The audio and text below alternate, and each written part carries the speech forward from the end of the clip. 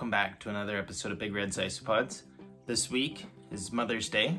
Uh, so today I was at a Mother's Day tea party. Happy Mother's Day to all the mothers out there. And today uh, we're going to be taking a look at the only isopod I think should be at a tea party. So today we're going to be talking about a species of Cubaris called Panda King. Now, Panda Kings are the one of the most iconic Cubaris species around. Uh, also, one of the most prolific species around, as you can see. There's quite a few of them, and I haven't had them for too terribly long in comparison to some of my other species. Um, they aren't quick as quick breeders as Cubaris murina are in numbers or in breeding speed, but they are very prolific nonetheless. Uh, as you can see by the little suits they're wearing, they can definitely be allowed at a tea party, in my opinion. Um, and they're just a great isopod to have.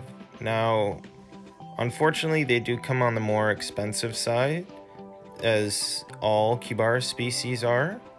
So maybe they're not as ideal for a beginner because if they were to pass away, like a few of my Cubaris species have, unfortunately, and I'll talk more about that later, um, it's going to be more of a heavy hit uh, on your wallet than some of the other species would be.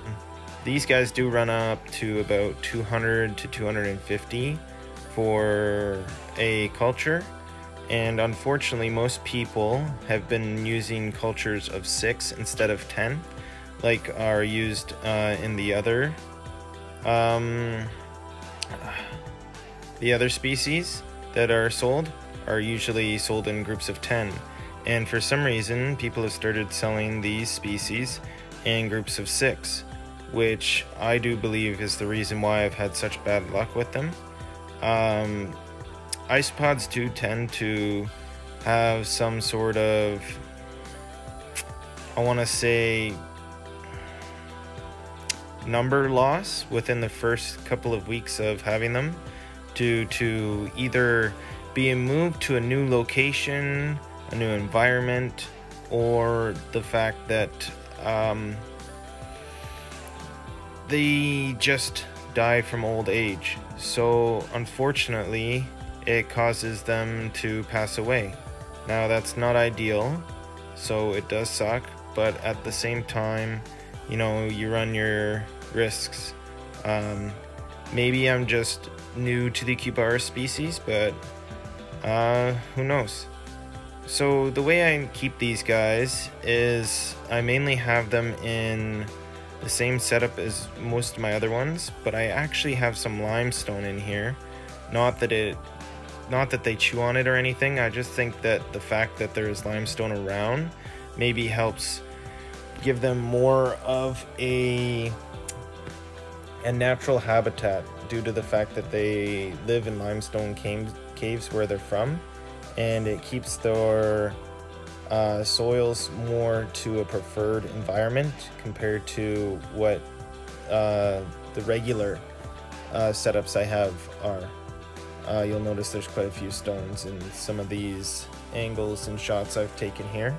And yeah, so I think they are great in the hobby. They're a beautiful isopod. They look at how nice those lines are. Some are more black, some are more white. I don't know. They're just a beautiful species, in my opinion. Uh, but to be used in a cleanup crew, I don't think a lot of the Cubaris species would be a good idea to keep in a cleanup crew. But believe it or not, I think the Panda Kings are probably one of the most likely ones you could use as a cleanup crew in comparison to a lot of the other Cubaris species because these guys seem to always know where there's food around. As you can see, they'll be sniffing around they're drawn right to the food. Um, and I think that out of any of the ones that I've seen, at least, that these species would definitely be more likely to clean up any of the matter that your animals are left over um, and clean up any of the leftover food. Now, these guys definitely do not pose any sort of threat to any species of reptile or amphibian. They're very small for the most part. They don't have any sort of uh, aggression, I would say, to anything.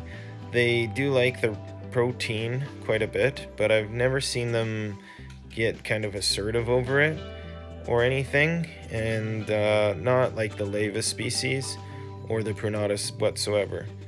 They do curl up just like the Armadillidium do, which makes them very cute, and they are very appealing to the eye.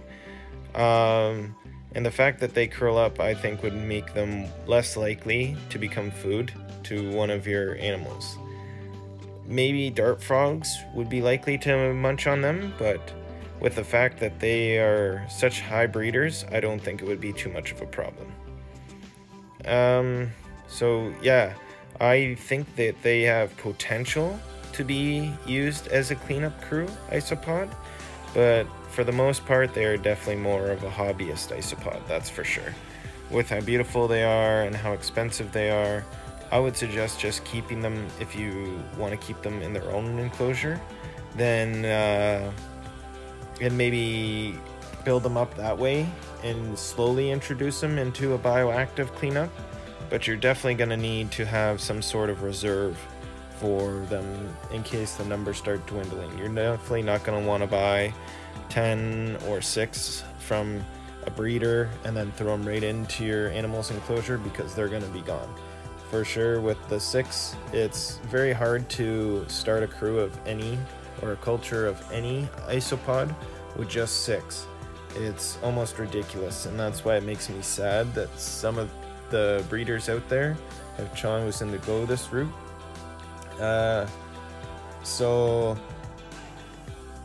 I think it'd be a best idea for you to get a healthy culture going, have them breeding, have them prolific as they should be.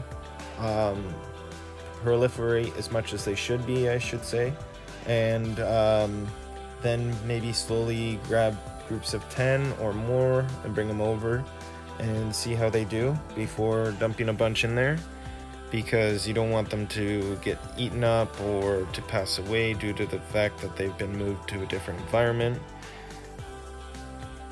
What's that? You say you want people to like, comment, and subscribe? Okay, Mr. And another thing I'm going to add is you're always going to want to have some sort of calcium source for these guys. You're always going to want to have that with any isopod, but more so with a Cubaris species due to the fact that uh, they have a high calcium diet in the in the wild. They're going to need uh, some sort of mimic to that in their uh, environment and yeah, overall, I would say uh, Cubaris Panda King is definitely a great starter if you want a Cubaris species. But other than that, um, it's best not to spend the money on it for a cleanup crew unless you're obviously got the money available, you've been planning on it for a while, you've kept a couple other species, and you think you're really ready to make that jump. So for my final notes, I think Cubaris Panda King are great for hobbyists, and they definitely have potential as a cleanup crew. Anyway, see you guys next week. Bye.